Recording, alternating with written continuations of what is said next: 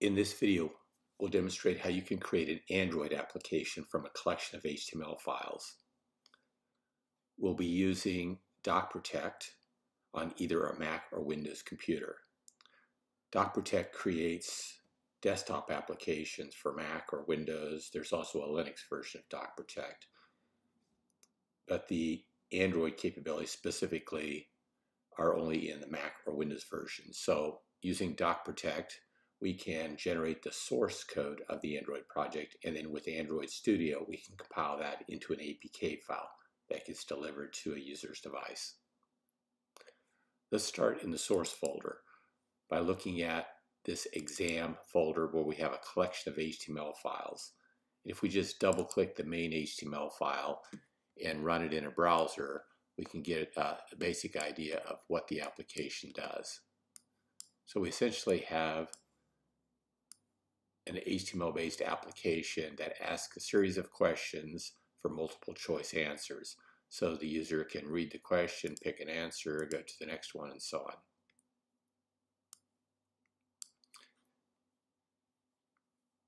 We also, in the source folder, we have a JPEG file that we can use for an icon and uh, an image that we can use for uh, a background image of our Android application. So we're going to launch DocProtect and set up a record of information to, to find this Android app. So in our record name field here, we've named a record and we've selected Android as the type of project that we want to do. We've given a name to our application. We've selected the path to our main HTML folder and the main HTML file within that folder, and finally the output folder into which we want to generate uh, our source folder for the Android project we're generating. We also need to set up a couple items on the Android panel. You'll need a company domain. It assigns that to your application. And then we have a path to our icon image and a path to our main image. For the moment, we're creating this Android app without any type of licensing applied, but we'll look at that later in the video. When we click the Build button, it takes a moment and then it will generate the source folder of our Android project. If we navigate into our output folder, we'll find the exam folder. That's the source folder of Android projects that was generated by DocProtect. And we're going to use Android Studio to compile this into an APK file. So we've opened up the project into Android Studio, and we do that by simply uh, launching Android Studio and under the File menu, just choose Open and then navigate to the project that you want to open. In which case, uh, we've navigated to this exam folder. And then just click Open. So once we open the project, we're going to need to build it into an APK. No programming changes are required. So we'll simply go to the Build command here, or the Build menu, and select Generate Signed APK.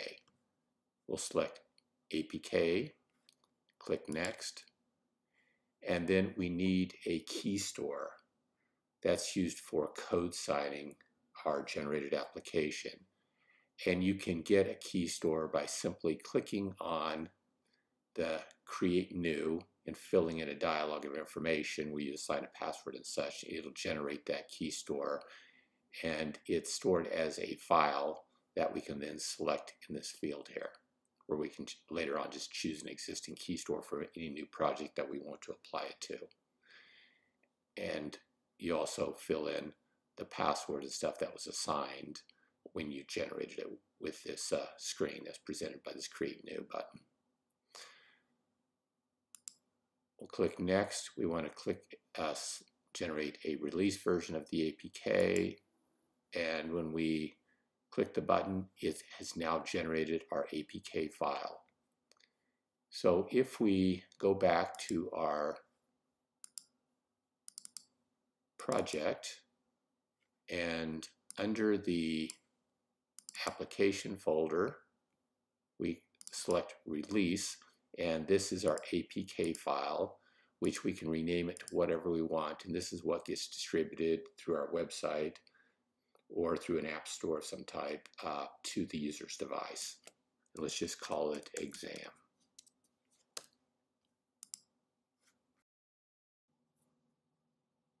Rather than downloading the APK to a physical device, we can also run it within the emulator from Android Studio itself. So we select the device that we want to emulate, and then we when, when we click on the Run button here, it runs our application right in that emulated Android device. So we see our application, which is a series of questions and multiple choice answers that the user can click through. If you plan to sell your Android application, you may want to apply licensing to it so that during the purchase process, you can deliver a serial number to the customer, and then on first launch of your application, they'll be required to enter that serial number to activate your app to their device. We're going to demonstrate how that's set up now. There's two parts to this licensing system, cloud license, and that's the server part, and that part gets set up within DocProtect by filling in some information on the Android panel here in this Cloud License Details section. The other part is what gets set up in a Safe Activation Service 3 account, or alternatively, you can self-host the Cloud License Server on your own Linux or Windows website. So we won't cover everything in detail on this setup process because it is detailed step by step in a PDF file, but let me give you the main uh, concept you're going to, within your Safe Activation account, you're going to set up a product edit page that has information about how to activate your product. And so you'll name the record, put in this activation calculation, and fill in some other information.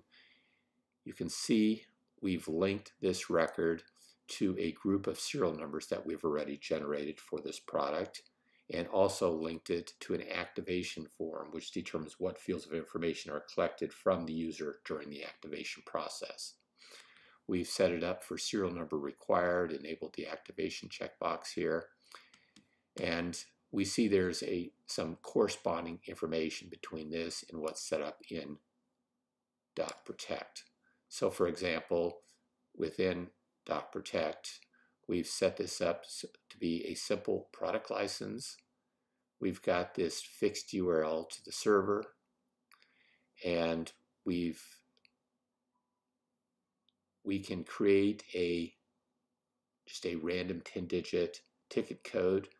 We've typed that number in here and that corresponding number we've entered here. We'll go to the bottom of the screen, click Save Data, and then it kind of summarizes the information on the results page here that's needed to set up the re re remaining fields here in Doc Protect. So for example, we want to set up the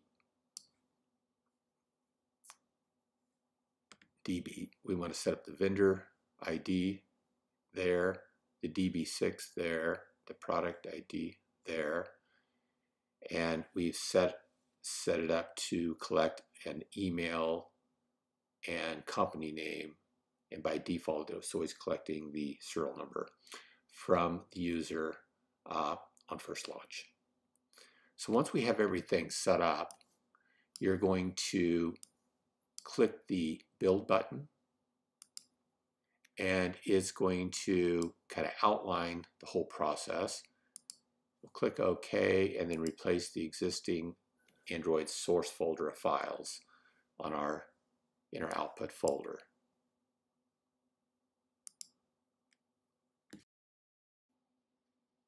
We've now opened our newly generated Android project into Android Studio and we could go ahead and build the code signed APK file like we did before. But for this video, let's just run our application in the emulator by clicking the Run button. and it's running in the emulator and this time we'll notice that it's going to prompt us to enter our serial number. So we're going to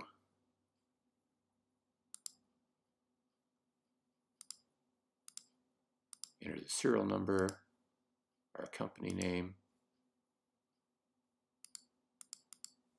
and an email address.